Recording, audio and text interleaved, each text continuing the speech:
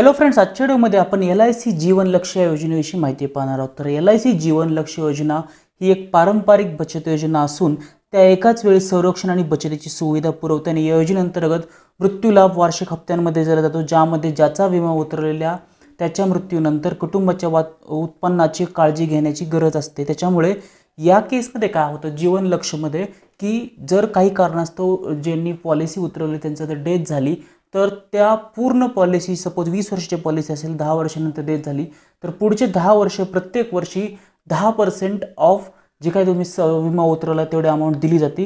तर याची पूर्ण माहिती आपण एक्झाम्पलसोबत या व्हिडिओमध्ये पाहू सर्वात पहिल्यांदा पाहूयात की जीवन लक्ष योजनेची जी मिनिमम एंट्री एज आहे ते अठरा वर्ष आहे आणि मॅक्सिमम जे एज आहे ते पन्नास वर्ष आहे. आणि पॉलिसीची जी टर्म आहे ते तेरा ते पंचवीस वर्ष आहे. आणि सम ॲश्युअर्ड एक लाख रुपये मॅ मिनिमम आहे आणि मॅक्सिमम काही लिमिट नाही आहे आणि याच केसमध्ये जर तुम्ही पाहिले तर या ठिकाणी पॉलिसीधारक जी काही विमा राशी आहे ती पॉलिसी घेताना त्याला एक प्लॅन निवडावा लागेल. सपोज तुम्ही पंचवीस वर्षाची पॉलिसी टर्म घेतली तर तीन वर्ष कमी प्रीमियम पे करावं म्हणजे बावीस वर्ष करावं. तुम्ही पंधरा वर्षाची पॉलिसी घेतली तर बारा वर्ष पॉलिसी तुम्हाला पे प्रीमियम पे करावं लागेल. तर तसेच पॉलिसीधारक योजनेच्या संपूर्ण मदतीमध्ये जिवंत राहिल्यास त्याचे म्हणजे मॅच्युरिटी बेनिफिट्स त्यालाही मिळले जातात. तरी हा एक एन्डॉयमेंट प्लॅन आहे ज्याच्यात तुम्हाला कुटुंबाची सिक्युरिटी मिळते. तर या प्लॅनची आता आपण एक एक्झाम्पल थ्रू माहिती घेऊयात. सपोज एक मिस्टर अजय आहे ज्याचं वय तीस वर्ष आहे आणि त्याने वीस वर्षाची पॉलिसी टर्म घेतलेली आहे. मग सतरा वर्ष तो पैसे भरणार आहे. आणि जे टर्म त्याने सम ॲश्योर्ड केलेला आहे तो पाच लाख रुपयांचा आहे.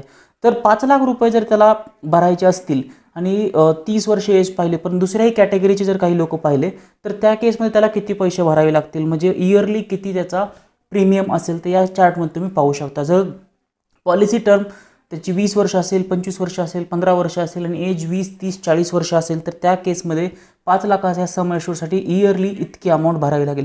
तर आताच्या आपण केसमध्ये पाहत होतो की पाच लाख रुपयाची पॉलिसी घेतली आणि काही कारणास्तव वीस वर्षाची पॉलिसी आहे परंतु काही कारणास्तव दहा वर्षानंतर डेथ झाली तर दहा वर्षानंतर पुढचे नऊ वर्ष म्हणजे एकोणीस वर्ष पूर्ण होईपर्यंत प्रत्येक वर्षी पॉलिसीच्या दहा टक्के म्हणजे पाच लाखाच्या दहा टक्के अमाऊंट म्हणजे पन्नास हजार रुपये त्या कुटुंबाच्या नॉमिनीजला दिली जाते.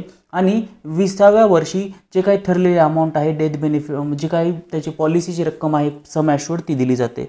आणि जर त्या व्यक्तीने पूर्णच्या पूर्ण कालावधी पूर्ण झाला आणि मॅच्युरिटी कंप्लीट झाली वीस वर्षाची तर त्या व्यक्तीस वीस पाच लाख रुपयाची विमा राशी प्लस जे काही त्या वर्षीचे इनिशियल बोनस आणि फायनल बोनसेस जे आहेत ते डिक्लेअर केले जातील आणि त्या बेसवरती त्याला एक्स्ट्राचे ती अमाऊंट मिळेल. तर या ठिकाणी जर तुम्ही पाहिलं तर तुमचे दोन्ही जे हेतू आहेत जसे की काही कारणास्तव तुमच्या कॅ फॅमिलीची सिक्युरिटी आहे ती प्रत्येक वर्षी प त्या पॉलिसीच्या दहा टक्के अमाऊंट दिल्यामुळे फॅमिलीजला एक अमाऊंट चांगली मिळू शकते आणि त्यामुळे एक चांगली पॉलिसी आहे. जर ही पॉलिसी आवडल्यास तुम्ही जरूर याच्याविषयी चौकशी करू शकता किंवा काही डाऊट्स असतील तर खाली कमेंट बॉक्समध्ये विचारू शकता. थँक्यू